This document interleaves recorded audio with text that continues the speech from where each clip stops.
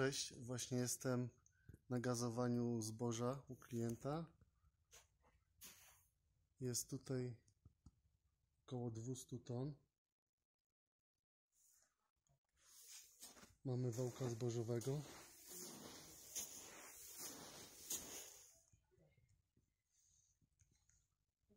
Nie wiem, czy widać jak chodzi.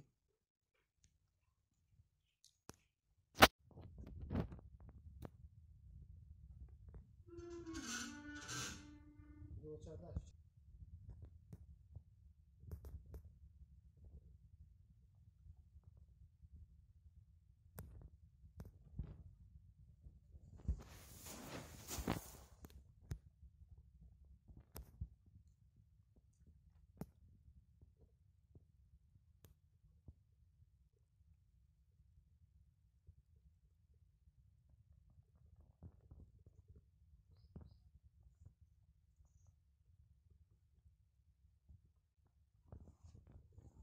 I tak po całości.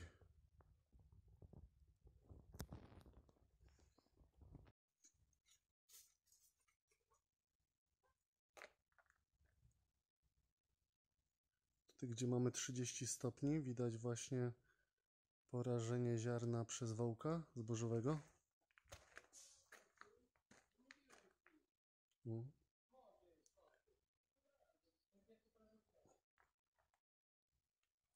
Tam jak się e, rozgarnie ziarno z góry, tak samo będzie właśnie wydostawała się temperatura jak tutaj.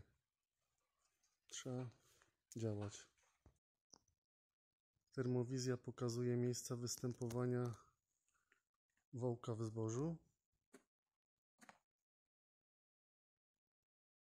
Tam mamy zagrzane.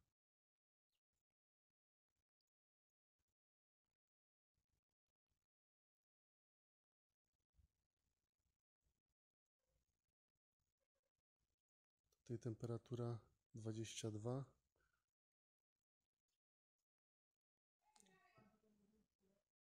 A tam nawet pod 30 podchodzi. Trzeba gazować.